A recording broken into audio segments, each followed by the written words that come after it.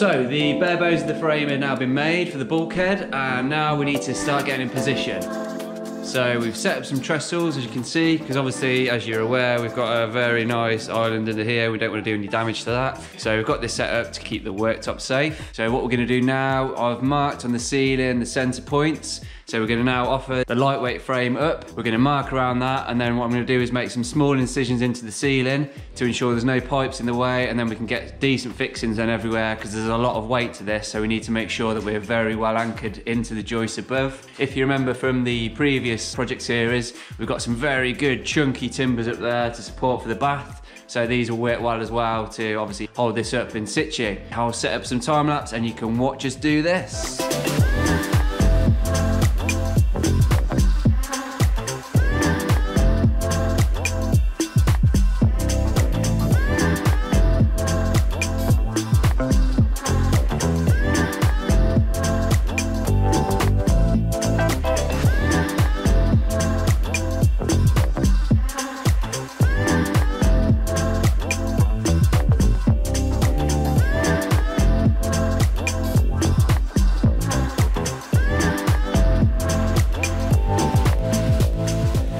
Guys, the last you saw we were getting the framework up for this bulkhead above the island and now it is finished. Well obviously it's not fully finished, it's plasterboarded and the lighting first fix is done. All the beads are on ready so the plaster will be in tomorrow to get this skimmed. As you can see we've got this radius here which is actually a replication of this breakfast bar under here so that mirrors that. We've got some nice lights fitted in there as you can see.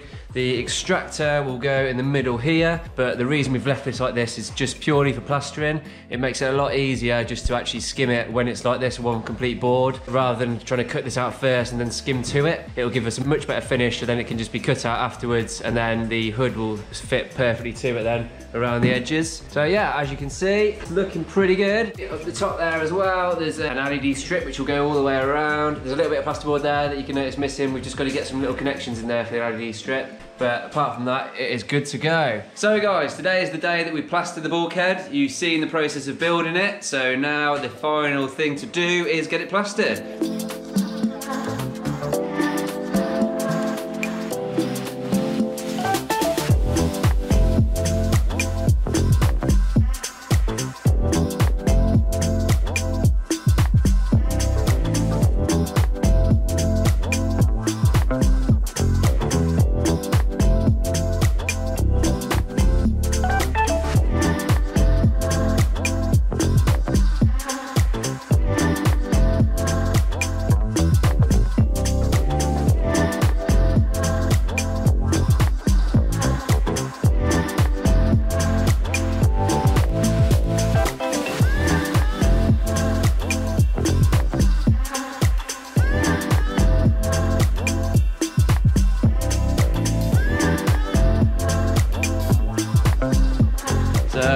Clients have decided they want some nice oak shelving putting across here. I've got a diagram there. So basically the edges of the shelves will replicate the angle of this roof. So there's going to be three, one going across there, one there and one just up there. So what we've got to do with these, because there's quite a bit of a distance behind this, because this wall is actually quite far out, so we had to obviously change that with the dabs. So the wall is actually like at an angle like that behind it. So there's quite a bit of a void behind there towards this end of the wall. Because these shelves are going to be floating shelves, there's going to be no visible brackets to hold it. What we're going to do is actually drill holes through here and then use some threaded bar and then chemically fix them into that with some resin anchor, which you may have seen us using in one of our previous videos. Then once that's gone off there, we'll then do the same process into the back of the oak shelf and that will hold that absolutely solid there. You'll be able to sit on them shelves and they won't move at all. So what we'll do, I'll set up a time lapse and you can watch me get these holes ready and do these oak shelves.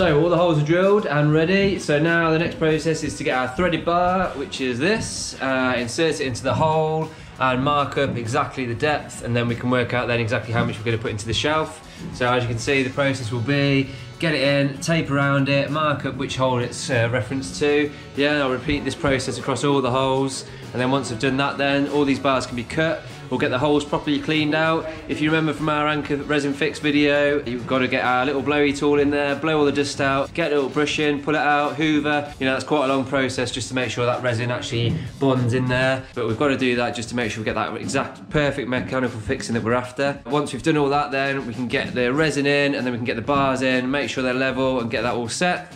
So we've got all the holes drilled as you've seen and we've got all the bars marked out so we know where to cut them and now the next process is to get the holes ready for the anchor resin. So there's going to be two tools used here. We're going to use this which is a little blower, basically like a balloon pump. Pumps air through this tube here so we put that into the hole, pump it a few times, it will blow loads of dust out. Then we'll get this little brush, again push that in the hole, give it a twist and pull, pull more dust out and then we'll repeat that process three or four times. Get the hoover in there, make sure there's no excess dust in there and then we can get the resin put in.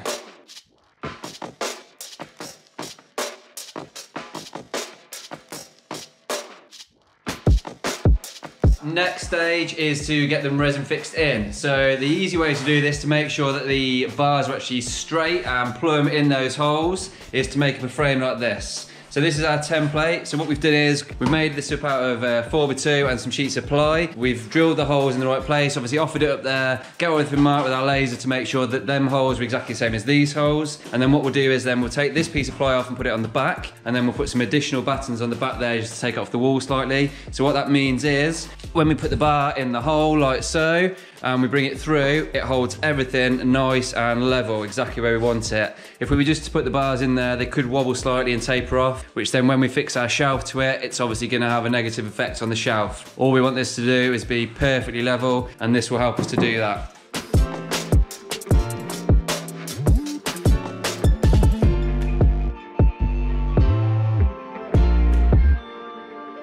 So as you've just seen, we've chemically fixed the bars into the wall using our little system here. So they're all in there, ready. So all these are perfectly level now. So we know once the resin's gone off, we'll take this off and we know all these bars will be nice and level. So when we fix our shelves to it, they're gonna be level too. Nice and easy, straightforward. It's a bit of a long-winded way to do it, but by doing it this way, it ensures that our levels are exactly where we want them to be. So it's worth doing. Just that little extra step which makes a difference.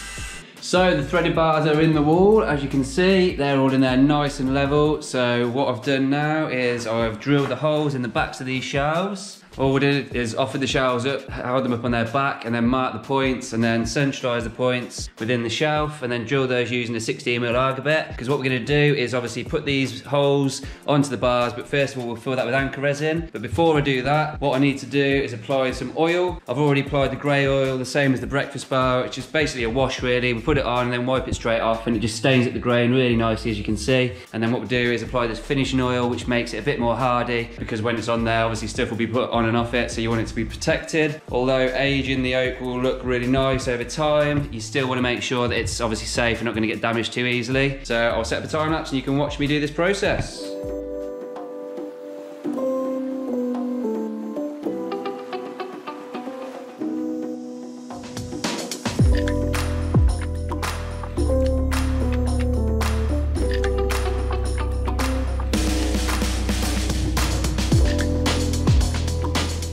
Now seen me put on the two coats of oil. Now all I need to do is let those go off a little bit and then we can get them mounted on the wall. We need to wait a couple of hours just to make sure it's fully dried because otherwise all that's gonna happen is we're gonna end up with marks all over it because obviously where the oil is gonna dry, you're gonna get oil from your fingers, it's gonna make all sorts of mess. So we'll leave this to fully go off and then it can be mounted onto these bars on the wall. Because we took a little bit of extra time and effort to get it all bang on, all I'm gonna have to do is obviously stick these straight on and then we will put some props in between just to make sure everything's kept perfect. So guys, the showers are in. As you can see, there we go. These sticks in here are just temporary, just to make sure everything's held nice and rigid while the resin goes off. But as you can see, they look really, really good. They followed down with a pitch of the roof as well, just to give that extra effect there. And obviously the oak, it's stained up the same as the breakfast bar and the table. What I'll do is I'll leave that to go off overnight now, because it's nearly home time. And in the morning, we'll pop these out and then take all this out, clear everything up, and have a look at the finished product.